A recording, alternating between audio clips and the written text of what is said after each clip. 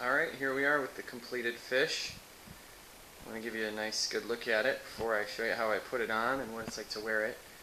Um, get a close look at all these details here. I got the eye and the teeth and the fins and stuff all painted, finished up. And the scales.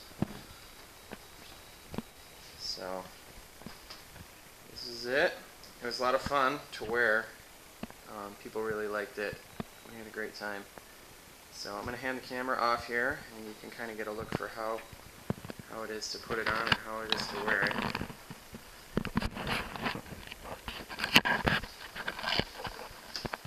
So, just going to go arms first. And then, uh, just kind of shimmy inside of it.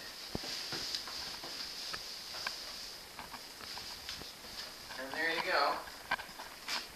So, this is me wearing it. You see that I have pretty good access to my face. I didn't have any problem drinking a beer while I was uh, wearing it.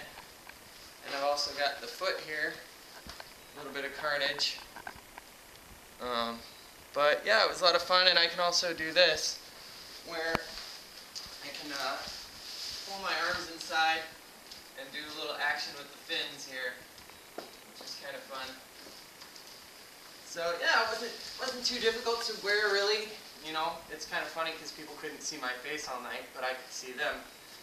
But uh, yeah, this is it. So thanks for checking out my costume and have a good Halloween.